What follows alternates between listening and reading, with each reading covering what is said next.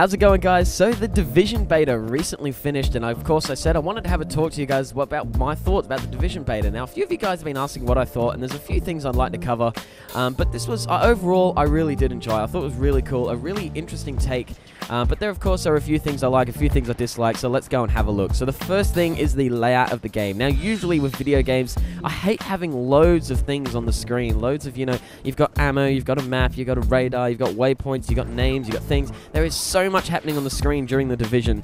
Um, but after a little while, I actually got used to it and actually found it really cool. It was actually really fun. I was surprised how much it wasn't frustrating me. It was really cool. It was really easy to see. Uh, I love the use of the waypoints and the lines and things. I like the uh, the artistic style of how you have to be looking at the writing for the front, as in it sort of presents a 3D floating text there. Uh, it was really cool. Really something I found really intuitive. The game itself, the graphics, the map was absolutely gorgeous. The weather system was amazing. The day-night system was gorgeous. Uh, the Christmas lights around New York was amazing. Uh, it was really, really cool. The only problem I have with the map would have to be probably something to do with the Dark Zone, and this is not really to do with the map itself, but more so something I'm going to have to wait and see if it happens on the out uh, once the full game comes out. So here's what I'm talking about. I'm thinking once the game comes out, uh, it looks like there's going to be a good chance of um, people in the Dark Zone. So for those of you who haven't played it, the Dark Zone is basically pl player versus player. It's PvP area. It's just a big open map.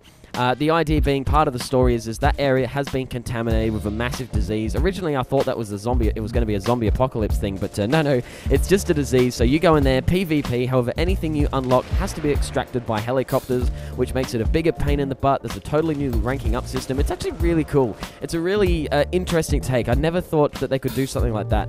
Uh, there's no loading screens or anything passing into the dark zone. You don't have to go through menus. You just simply walk through the gate and you're on the other side of New York in PvP. That was really, really really cool. I was actually really interested. I, it took me a little while to understand how it all worked, but it's uh, it's really cool. The thing I don't, I, the thing I think may end up happening is people may end up just sitting around the edge of the dark zone, if you know what I mean, just towards those gates, which sort of makes sense because they don't want to run off into the map. They just want to get straight in the action. If you're going into the dark zone, you're just going to be going to, you know, you're going to go to extraction points. You're going to take out as many people as you can. Um, I don't think a lot of people are going to be spreading out amongst that whole map because there's no point. Too many people are going to be sat there around the extraction points and around the uh, you know the area right next to the gates. So does that mean that the rest of the map is going to become, you know, pointless? And so you've got a huge area of New York and a huge area of the map that just you just won't even bother exploring. And there doesn't seem there wasn't in the beta. There wasn't really anything there that made it worth exploring. So I think I would like to see some missions, maybe some uh, little side quests and things like that in the dark zone, sort of like you see uh, in the normal map. So just a few missions, maybe a few ill civilians or something like that. Maybe you know, just some small mini games and stuff you can do that uh, venture out further and further in the map. Maybe the further you venture into the dark zone, the better the loot you gain. Something along those lines would be really, really cool. I think that would make it a lot more intuitive.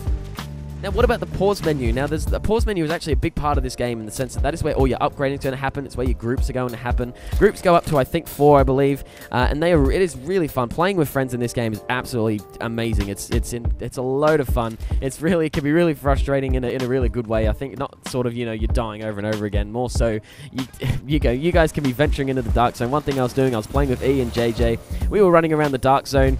Uh, we all agreed that we would not shoot anyone. We would not go rogue. Uh, and so I just started taking people out, and they got really annoyed. It was really, it was really cool. It was really fun. I think it's it, it makes the game really interesting and awesome. Being able to do all the missions with uh, with your friends and stuff makes it really cool. Uh, and the system to group up with friends was easy peasy easy peasy. Uh, growing into group management, uh, having a squad leader, and just you know, just attaching people to your squad was cinch. And I actually met a few people online and things like that. It was awesome. I absolutely love the multiplayer aspects of this game. It's really cool.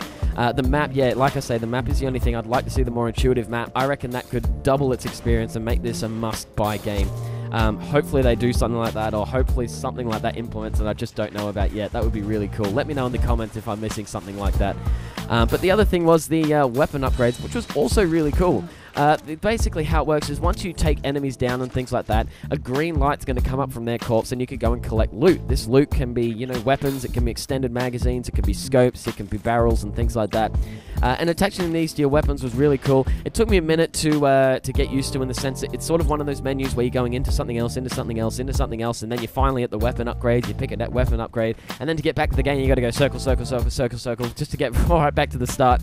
So at first, it can be a little daunting, but once you get the hang of it, uh, it's it's a cinch and it's an absolute breeze. So uh, it was uh, it's really cool. Uh, and it's it's I was quite surprised. One of the biggest things with this game was the amount of things that is happening on the screen at all times, and yet I was never too confused. I was never too frightened. At first, it was sort of a little you know a little weird when you're first stepping into the game, but I, I never lost track of what things were, and uh, I don't know the color. This must be something to do with the color coding system that they have with the writing and the text. Is all of it comes together to create awesome missions. But yet, like I say, the missions are really cool. The boss was awesome. Uh, some of the, the, free roam is absolutely cool. The environment is amazing. The map is really cool. Hopefully, they can just make some fixes to the dark zone and stuff like that. Make that a bit more intuitive and a bit more uh, make me want to explore it a bit more because I ended up just sitting around the fence, and that's what everyone was doing, just sitting along the fence in the dark zone, not really going anywhere, and just trying to stay alive for as long as you could, staying around one or two extraction points, which is, you know, I'd like to see that a bit more intuitive. Apart from that, though, this game's absolutely amazing. If I have the money, I am certainly going to be buying it. I would suggest you guys do too. It looks absolutely amazing. It looks really cool and a great add to your collection so far. Well done from the Division beta. Well done with the beta. So far, so good. Hopefully, they can keep this up into launch. Uh, if so, eventually I will most definitely be purchasing it. So that's it for today, guys. Thank you very much. Be sure to like the Facebook page, sure to leave a like on the video, subscribe, all that jazz. Links in the description below. But for now, I'll catch you later. TK out. Have a good one.